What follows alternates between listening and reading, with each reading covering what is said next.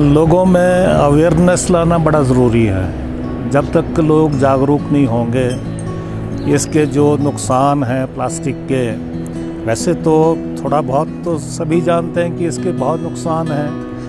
अब जैसे हमारे गाय हैं, बैल है या कुछ हैं, वो भी प्लास्टिक को खाते हैं। हमारे तो खेतों में भी प्लास्टिक काफ़ी जैसे इंसेक्टिसाइड फंजीसाइड वगैरह इस्तेमाल करते हैं लोग। तो हर कहीं नाले में फेंक देते हैं। अब ये जितनी भी चीज़ें गाँव में भी काफ़ी दुकानें आ रही हैं तो काफ़ी प्लास्टिक का इस्तेमाल बढ़ गया है।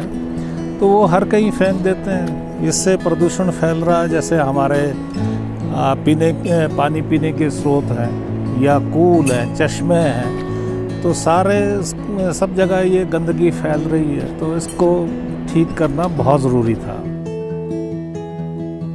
As an NGO, we have uh, adopted this village, and we started with uh, taking care with uh, solid waste management. Other than that, we also do trekking routes and clean them throughout the year.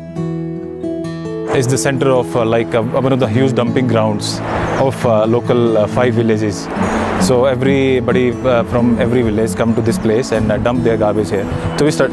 We thought of start from here only, and also we got a huge support from college also, Haripur College.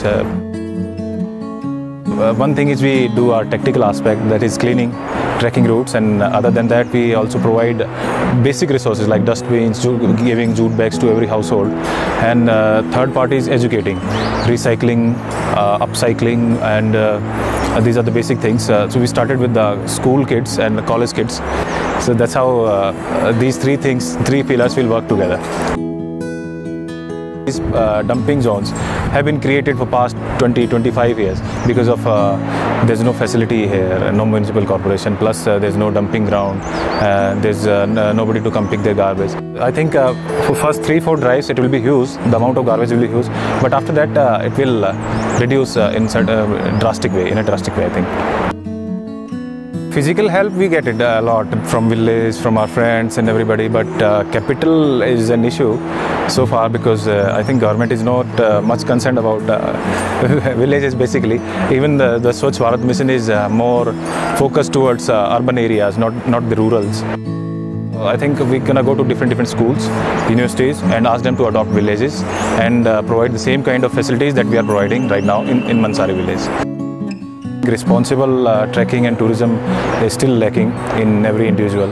So that's what we are trying to inculcate in everybody nowadays, uh, starting with the, these uh, basically with uh, this village. Yeah.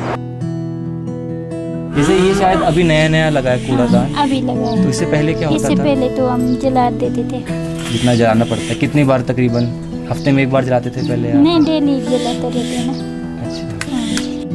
जैसे कूड़ा वूड़ा इकट्ठा हो गया आपके chips के packet या इसके। तो उसके बाद ये कहाँ जाता है? मतलब कैसे ये हम वहाँ कूड़ा दान रखा है वहाँ डाल देते हैं। अच्छा तो यहाँ पे ये हाँ ये उठा देते हैं ले जाते अच्छा। हैं।